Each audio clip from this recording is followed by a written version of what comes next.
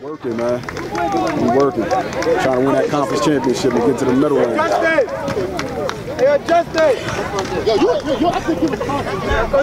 Trying to get to those middle lands, baby. Who, who's some of the standout players we gotta look out for this shit, man? Oh, man, this guy right here.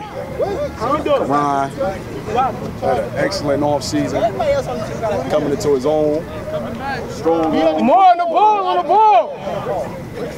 Not seeing white out there. Ready, ready. Stand go.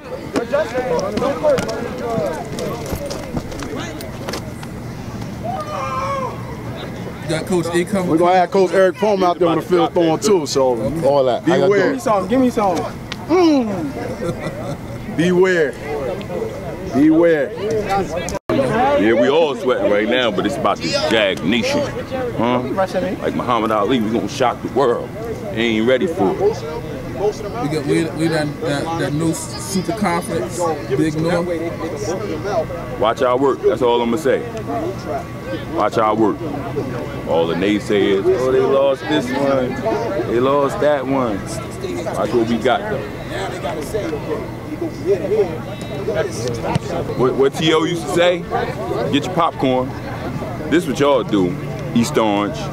Y'all make sure y'all fill these stands, man, because when these kids out here doing something positive, there's no support. But as soon as they do something wrong, you got everything to say. Oh, these kids that they get. But when they do something positive, there's no one in the stands. So y'all make sure y'all support, whether y'all have children on the team or not. If you from East Orange, then support East Orange.